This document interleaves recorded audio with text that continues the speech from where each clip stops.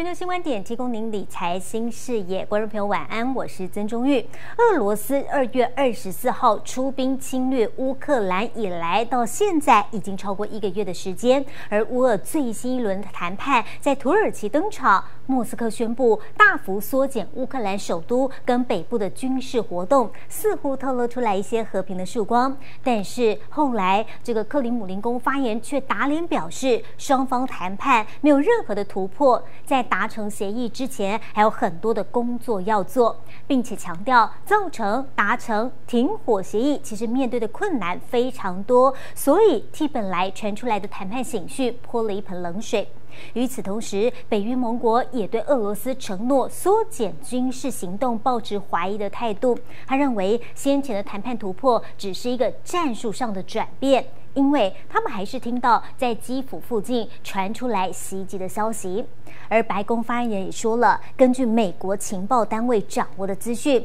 俄罗斯的总统普京其实并不清楚俄军在乌克兰的实际情况，也不了解俄罗斯经济遭到制裁的冲击，原因是他身边的幕僚根本不敢说出真相。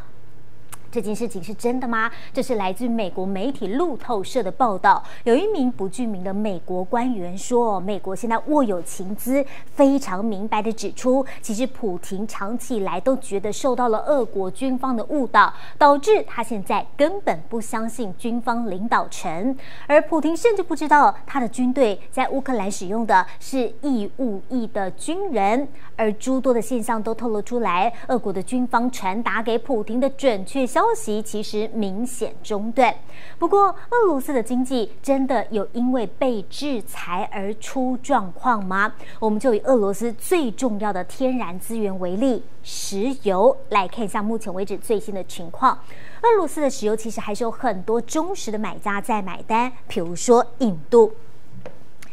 印度呢，其实他们是全球第三大的石油进口国，他们需要买很多很多的石油。那对于俄罗斯来讲，他跟俄罗斯买，当然他有相当程度的消费力道。那他到底买多少呢？你来看，印度在二零二一年。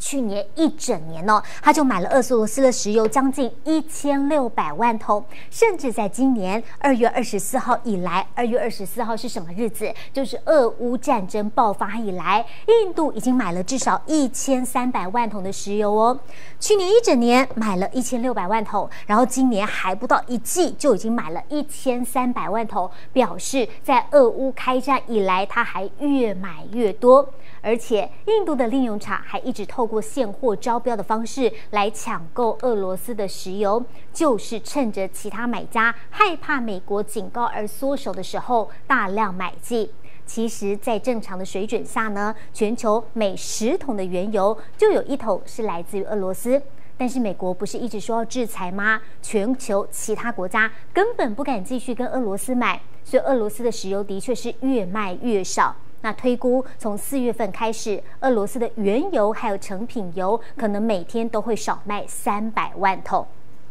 但是您看到，印度其实还是继续在跟他买的。那虽然美国对于俄罗斯的制裁并没有真的说好，我阻止你不准买，他只是一直呼吁哦，叫大家不要跟俄罗斯买石油。但是最近谁被盯上了，就是一直在跟俄罗斯买石油的印度，因为印度一直跟俄罗斯买石油，而且越买越多。我们刚才看去年一整年，他买了一千六百万桶，结果今年呢，俄乌开战以来，他居然已经买了快要达到。去年累积的总数了，那甚至有美国的政府官员对印度警告说，如果你们还是继续要跟他买石油的话，恐怕会面临非常巨大的风险。那面对美国这样的反应呢？好，现在有美国不具名的人士透露出来说，美国其实没有完全反对印度来买俄罗斯的石油，只是有几个前提：第一个，你不能让俄罗斯赚太多。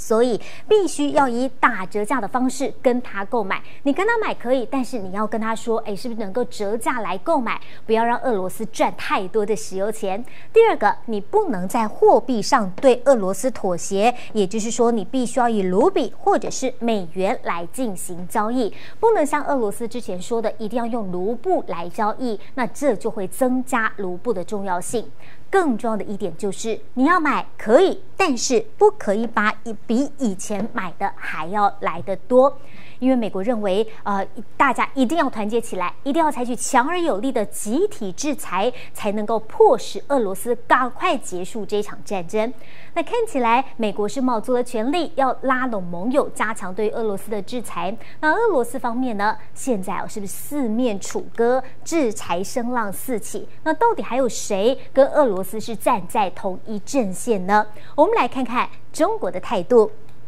好，中国现在传出来也有一些呃这个切割的状况吗？因为根据美国媒体路透社的报道，他说有消息人士指出啊，中国国营的中国石化集团现在呢，居然已经暂停在俄罗斯进行的重大投资跟谈判。那中石化暂停的投资项目高达五亿美元，他们原本呢是要跟俄罗斯最大的石油生产商西布尔来合作，但是现在好像也有一点变数了，那让人很难。不跟西方制裁这件事情联想在一起。那消息人士还加码爆料哦，说除了中石化以外呢，现在中国另外两间的石油巨头中石油还有中海油这两家公司，他们的高层也传出来被中国的外交部找去喝咖啡，要做什么呢？传出来啊，中国的外交部正在审查这三家公司跟俄罗斯的合作业务，甚至还传出来是被敦。促说：“哎，你们现在先不要采取任何的举动，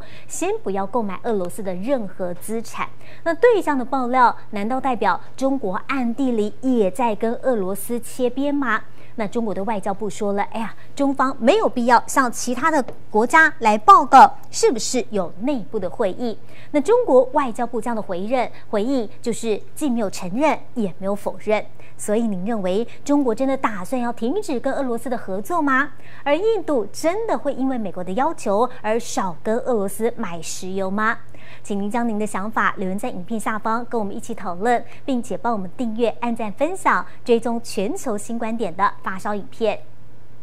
炮火连天，街道房屋满目疮痍。乌俄战争开打一个多月，新一轮谈判似乎进入焦灼，各城市战况依然激烈。不过，据路透报道，美国商务部官员表示，目前全球已经有三十三个国家加入出口管制策略。不仅仅是俄罗斯的民生经济，也对战车生产造成打击。Russia may not have enough soldiers or the logistical resources to amass enough soldiers to capture the capital. and has switched to a plan C of demoralizing the population Through long-range bombing and the destruction of infrastructure and factories. 各国严厉制裁奏效，俄罗斯两家主要战车工厂因为零件短缺已经停止生产。俄罗斯晶片设计商贝加尔电子也无法取得侦察设备和通讯设备所使用的晶片。另外，美国商务部也指出，台积电撤出俄罗斯市场，已导致当地企业 MCST 无法取得被广泛运用于军事和情报系统的自研晶片。而为了掌握半导体产业优势，台积电也目标在第四季完成先进封测厂机台更新，力拼年省四千万度电，减碳两万零八十公吨，加上避免特殊气体受到地缘政治因素影响，都渴望带动本土气体及设备业者下半年业绩持续成长。不管是晶圆代工厂，或者是那个啊低润厂商哈，不管是不管是台积、联电、Intel 或者是三送，他们都有都有一些扩厂的计划嘛。现在现对啊，现在办的蛮乐观的。对我们设备来说，这个需求还是存在的。我们这边啊，设备厂商的需求，我们的主要客户对我们下单的。还蛮多的。另一头，面对中国大陆部分城市采取严厉风控，台积电董事长刘德英虽示警，地缘政治因素引发的通膨已影响消费性需求下滑，但车用高效能运算需求依然强劲，今年营运成长目标展望不变。记者曹德林、陈柏成台北采访报道。